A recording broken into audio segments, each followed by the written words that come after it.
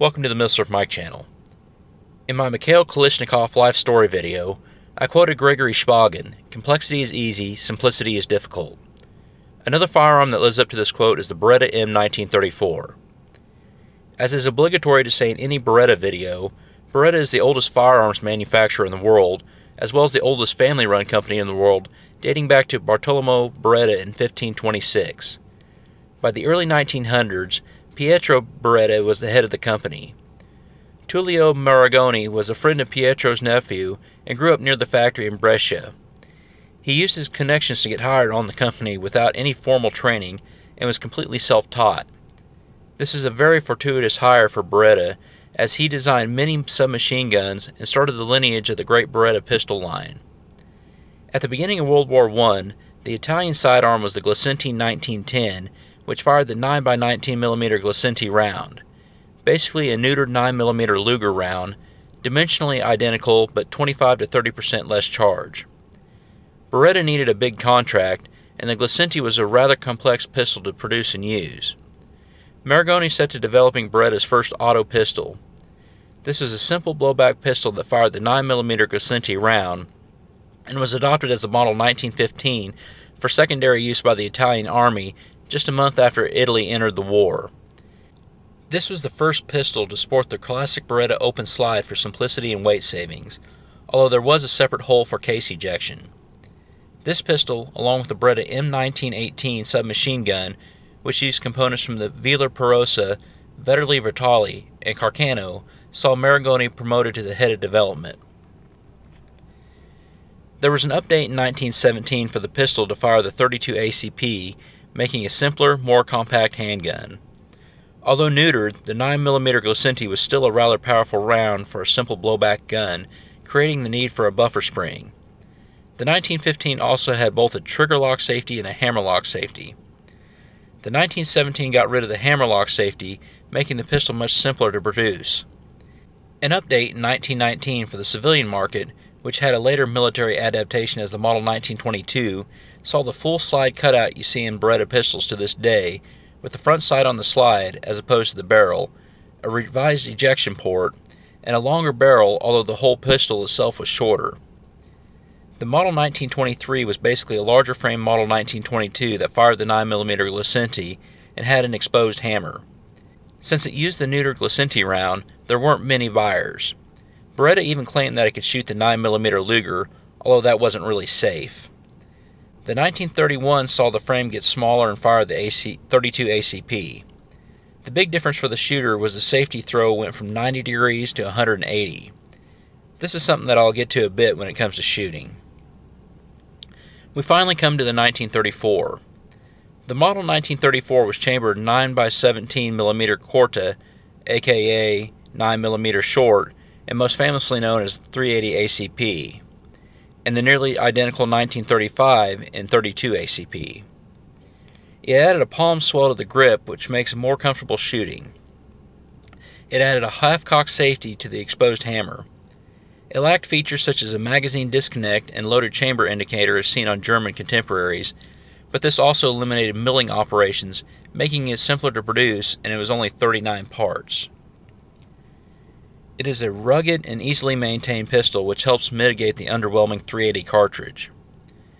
Early contracts for the 1934 were for police and port militia use, but Beretta received a huge order in June 1936 for 150,000 1934 pistols, and it was officially adopted in October 1936.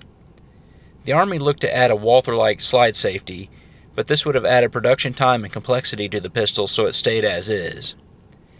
As the war began, Beretta would receive huge orders from 1934s. They would continue to have a blued finish until the very end of the war, where they would finally receive a phosphate finish. For pistols that were made up until the armistice with the Allies in 1943, it is rather simple to tell which year the pistol was made, since the year is not only marked with Arabic numerals, but the fascist year in Roman numerals. October 29, 1922 would begin year 1.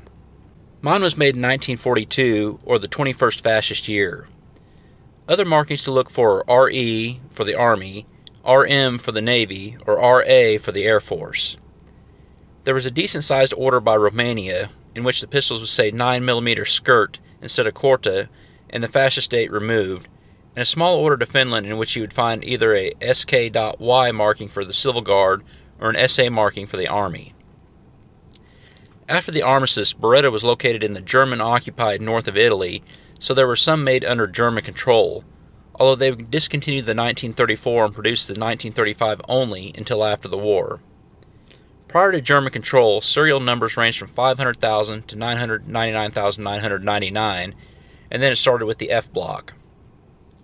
This is followed by the G block, and then the AA and BB suffix blocks. After the war, production began again with the C block in 1946, and the 1934 pistol would be produced until 1991, with the T prefix ending the final block. A total of nearly 1.1 million pistols were produced. Although the pistol lacked stopping power, it ran well in all climates from the Sahara to the Eastern Front. And since the 380 was chosen for economical purposes, as well as the pistol's ease of production, this ensured that more high quality pistols made it into the hands of soldiers out in the field, as opposed to using antiquated firearms to fill the gaps. It was a treasured pickup for Allied soldiers, as it made for a great backup pistol. One historical side note with the Beretta 1934. Like the Carcano, it is perhaps most famous for a successful assassination attempt, as a Beretta 1934 was used by Nathuram Godse to assassinate Mahatma Gandhi on January 30th, 1948. What do I think shooting this and blatantly ripping off C&Rsenal would I take it into battle relative to its peers? The pistol definitely has some very good points, but some major detractions. The good. The palm swell, as well as that little European pinking extension at the end of the mag, makes it fit very well in my hand. It is well balanced and pairs well with the 380 round. For World War II use, I would rank it fourth in the major pistols produced behind the P 38 1911, and Tokarev, and give it a soft yes if asked if I would take it into battle. The reason for yes simple, rugged, and know it'll go bang.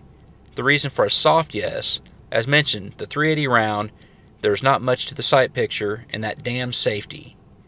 Not only is it halfway up the frame where it's difficult to reach, but you have to index at 180 degrees, which exacerbates that. A quick draw where you have to manipulate the safety with one hand is impossible for most people, and you need your offhand to flip it off. And to me, that is the one major drawback to the 1934. Please be aware of where your elected officials and the groups that claim to represent you stand on the Constitution. Please join the GOA. Click my link below for 25% off your membership. And a side note, I do not receive a kickback from that. What do you think this is? The NRA? If you like what you see, please check out my other videos, like, share, and subscribe. Also, check out my Facebook, Twitter, Instagram, and who I support on Patreon. Thank you for watching, and as always, have a great day.